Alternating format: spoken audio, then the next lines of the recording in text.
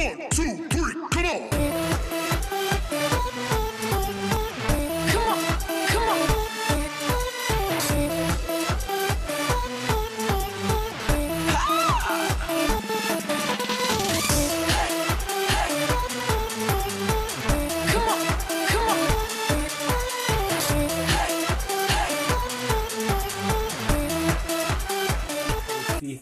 Vamos utilizar esses elementos. São tampas, fita crepe, só rolo, copos, as tampas. Iniciaremos utilizando as formas. né? Você vai olhar onde você quer colocar as frutas, qual a dimensão, quantas frutas você vai querer uma, uma montagem de frutas paralelas ou misturadas, certo? Vou utilizar essa forma. Primeiro aqui, fazer maçãs, ok? Outra maçã, sem apertar muito o lápis para não ficar marcado. Vamos utilizar fazer mais uma fruta grande aqui do lado de cá. Vamos transformar essa fruta aqui em um caju. Tudo bem? Fiz um círculo grande.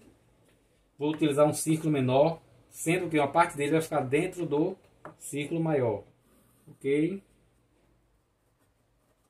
Fiz isso. E vou usar um desses menores em cima dele, ó. Vou utilizar aqui, vou ultrapassar dentro dele e sair um pouco.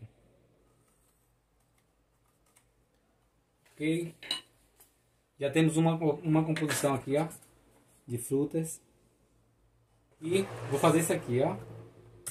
Observe. Vou riscar um pouco. Esse vai ser o centro da folha, ó. Por fora. Ok? Certo? Aí o que fazendo para voltar? Agora voltando, vamos fazer o seguinte, ó. Da ponta para dentro, ó. Pra cá. Pra cá. Temos folhas feitas, ó. Pra cá. Pra cá, ó. Observe. Já temos folhas. Pra cá. Pra cá. Vamos utilizar várias vezes o mesmo efeito. Várias folhas. Após ter feito a folha, vamos dar formas às frutas, ok? Então, primeira fruta. O que vamos fazer aqui? Vamos fazer maçã. Então, fazemos o que? Uma curva, que será o local do talo. Descendo nessa mesma posição, ó, vamos dar uma curva na parte superior, ok? Ó. Aí aqui vamos arredondar a parte de cá e arredondar a parte de cá. Curva para ligar uma bola à outra, justamente no canto dessa bola.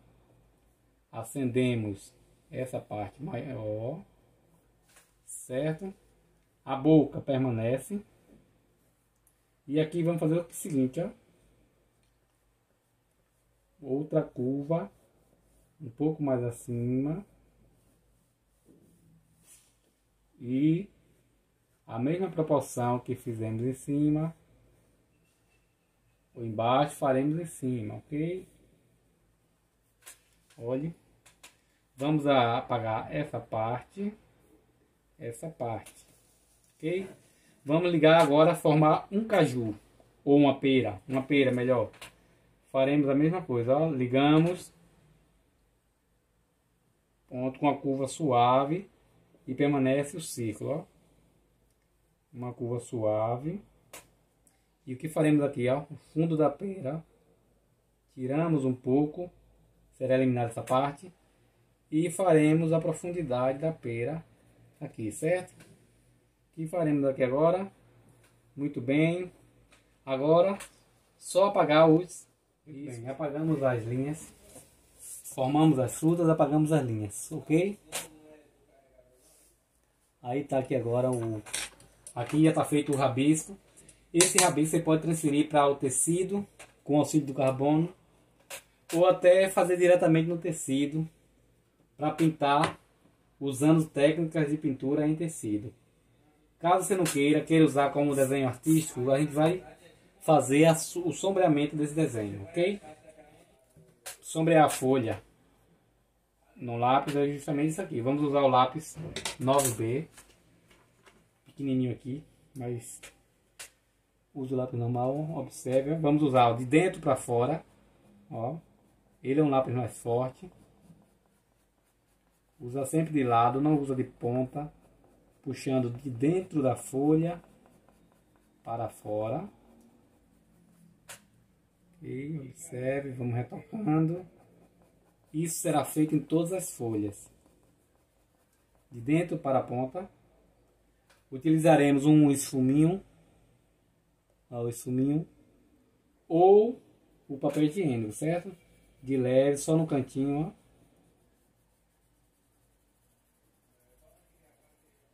ó. Agora aqui o dedo serve como esfuminho. No canto seu esfuminho. Agora a outra ponta da folha vamos utilizar o seguinte.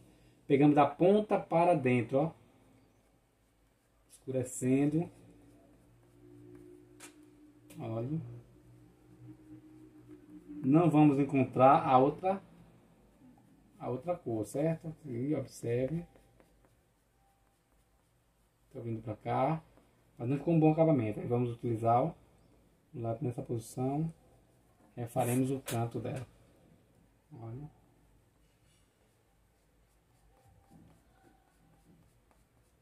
Isso vai servir para todas as folhas. Você olha essa folha que eu estou pintando agora e vai fazer todas as folhas observando esse modelo. Ok? Daqui a pouco teremos todas as folhas pintadas.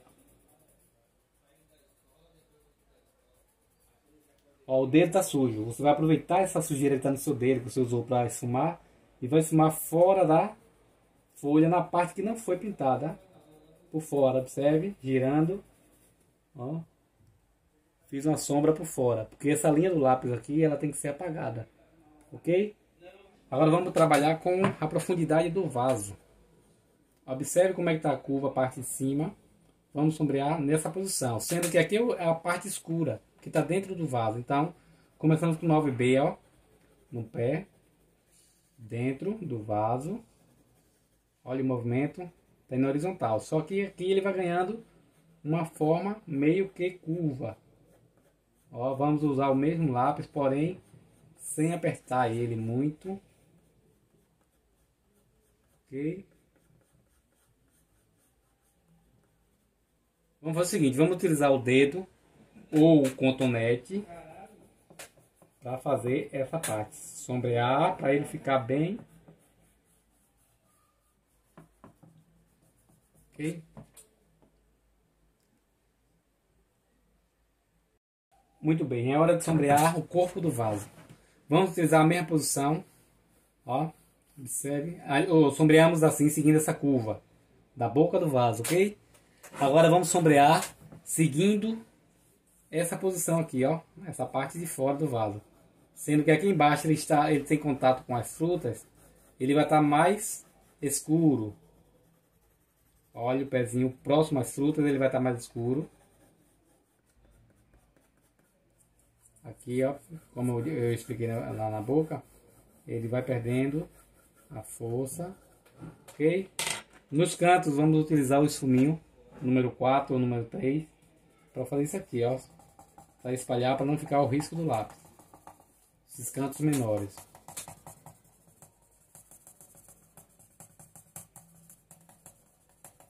E a parte de cima, vamos utilizar a parte maior, vamos utilizar o dedo, ou cotonete ou papel higiênico para sombrear. Agora é a vez de sombrear as frutas. Ó. Observe a maçã. Eu não estou sombreando a maçã assim. Poderia sombrear, numa boa, não tem problema nenhum. Vamos utilizar o formato da maçã. Ó. Parte para cá, parte para cá. Vamos sombrear sempre de baixo para cima. Nessa posição. Observe, siga a curva do desenho. Ó, a curva do desenho tem que ser obedecida. Use o lápis 9B embaixo. Se você não quiser usar o 9B, pode usar o 6B. Não tem problema nenhum, certo? Tá lá, ó. Observe que ela vai ganhando forma curva, ó. Aí chegou aqui no meio, ela vai ficar reto e já retorna para o lado de cá a sombra. Já vem subindo também mas obedecendo a curva do risco. Lembre de usar o lápis sempre deitado, ok? Porque esse risco da, da- do lápis tem que sumir. Não pode ficar riscadinho assim não. Você tem que ficar sombreado. Vamos sempre reforçando. Fazendo uma camada, depois outra, sem apertar o lápis para não marcar. Não vai chegar até aqui, viu? Até que assim, aqui também a boca da maçã, ó. Feita da mesma forma. Certo? Depois vamos fumar para ela ficar bem suave, igual deixamos o vaso. Certo? Como já está ficando nosso desenho. Muito bem, sombreamos as frutas, ok? As frutas estão todas sombreadas, horizontal, ok? Por baixo de toda a fruta. Depois passaremos o papel higiênico. Após a sombra feita com 4B, vamos fazer o seguinte, ó. O lápis 6B, vamos escurecer entre a fruta e a sombra, certo? Fazer uma sombra Serve esse suminho na mão e vamos fazer o seguinte, ó.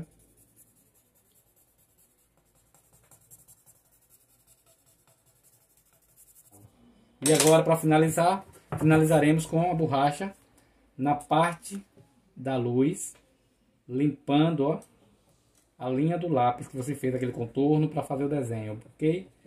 E espalharemos para baixo. Observe. Dá para perceber? Muito bem. Olhe como vai ficar. Aquela linha vai sumir, porque ela tem que ficar mais natural possível. Então, com o pincel, vamos limpar, ok? Esses arranhões aqui, passaremos um pouco do...